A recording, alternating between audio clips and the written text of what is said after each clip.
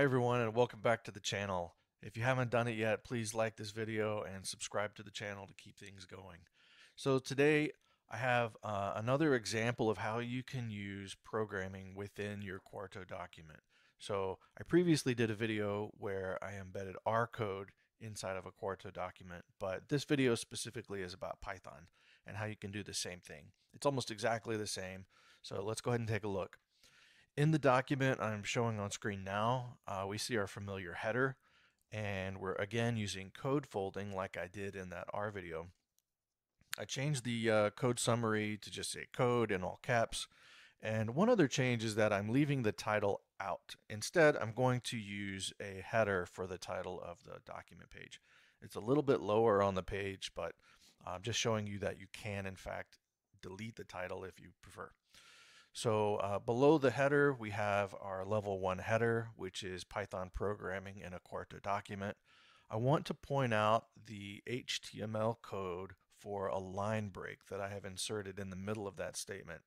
So when this renders, you'll get a line break in this longer than usual title so it doesn't wrap uh, on its own. So we're in fact controlling where it breaks.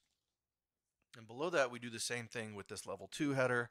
And the example I'm showing today is a salary distribution for interior designers in the United States.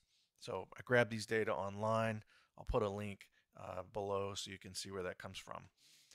And here we have a code chunk indicated by three backticks and then the curly brackets. And then inside of that, we simply type Python. Now, I do already have Python installed on my machine.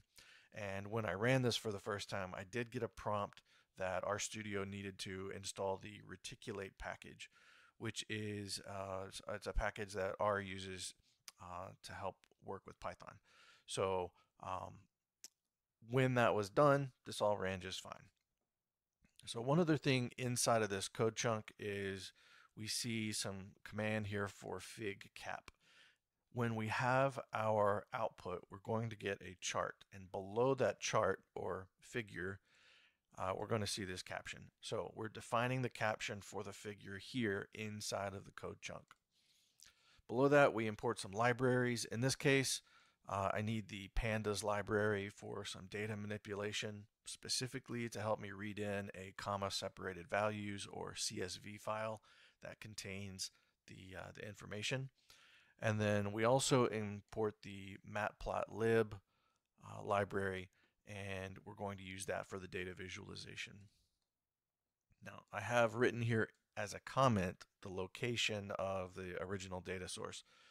It's not something I had to download. I just typed in a few values because there weren't very many. So I created my own CSV file for this, but the original location is here at datausa.io. Uh, so uh, there's a few comments here about what I'm doing, but essentially, again, we're using pandas to read in the CSV file and we're going to store that in a data frame. So commonly that's abbreviated as DF, so that's our data frame, and then PD is how we represent pandas, and then the command here is to read CSV with an underscore in between. And then we're going to read this file, so that's the command for that. Notice that I do have my data stored inside of a data subfolder of my directory, just to keep it clean. So if you have your data file stored somewhere else, just pay attention to that. Below that, we define the X and the Y elements from that data frame so that our chart knows which is which. And so the salary and the percentage of um, the, the data are defined here. So we're just simply looking in column, well, the first column and the second column. So um, below that, we have the plot itself. So once we have an idea of the salary brackets and the percentages associated with them, we need to plot those. So here we have PLT, which is going to be our, our chart, and then we have some options for that. So I set the width of it. I tell it that we want a bar chart with a certain color. I chose one that looked a little bit designery, if that's a word. And then uh, we can specify the title, the X label, the Y label, change the font size for those, and then we can also adjust the ticks for the x-axis because when I first ran this, they were all jumbled and on top of each other. So to clean it up a little bit, we can reduce the font size, rotate those so they don't lie right on top of each other. And then we can set the horizontal alignment to the right, and then the rotation mode is anchor. So they, they rotate nicely from the right side down about 45 degrees. And then further, I remove the border around the whole plot to clean it up a little bit further.